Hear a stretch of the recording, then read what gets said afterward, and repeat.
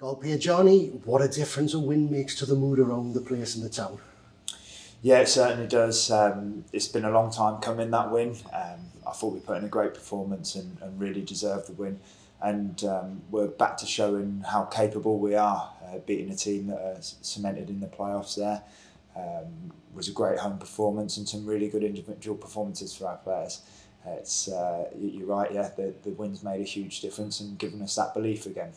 It was kind of, I mean, I turned up on on Tuesday even a little bit sort of flat because I thought, is it all over? But it's just reignited that spark, that belief, and it's going to make Saturday an absolute cracking day to be at the Lamex. Yeah, you're right. Uh, Saturday's is set up perfectly now, isn't it?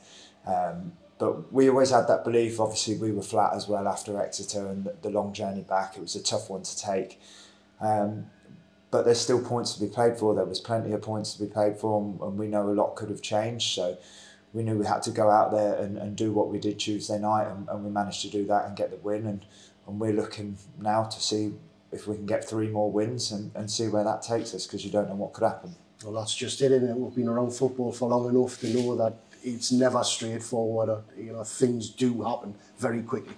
No, exactly right, and I think this league this year has proven that that anyone can beat anyone in this league. Um, teams find it hard to get wins on occasions.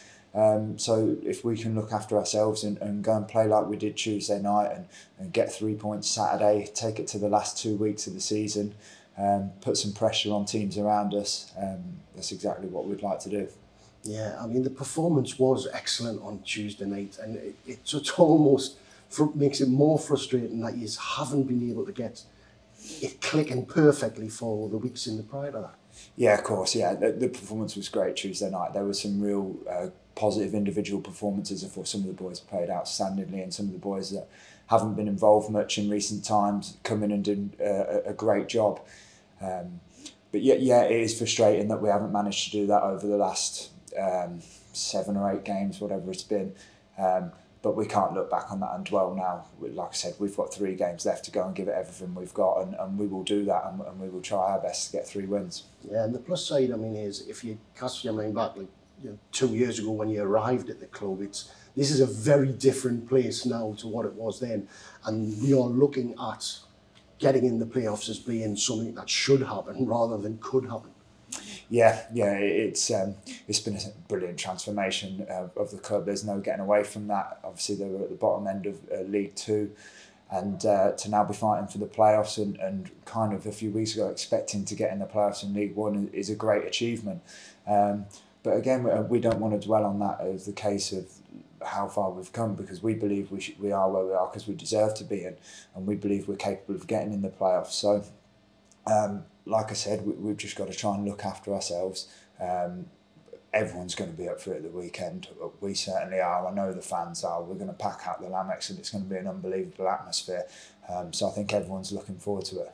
And you're coming up against Burtonside, who are fighting for something completely different, but will be fighting. Yeah, they'll be fighting. They've, they've had some bad results in recent weeks, but um, they're fighting for their own cause and, and, and they'll be giving everything they can. Um, to try and stop what we're doing and try and get three points for themselves and get themselves out of danger. So it's by no means going to be easy at all. Um, we know from uh, previous weeks that no game in this league's easy, but we've also shown over the course of the season that we're able to put three and four wins together on the bounce. So uh, if we can find that bit of form now and take that into the end of the season, hopefully we'll be good.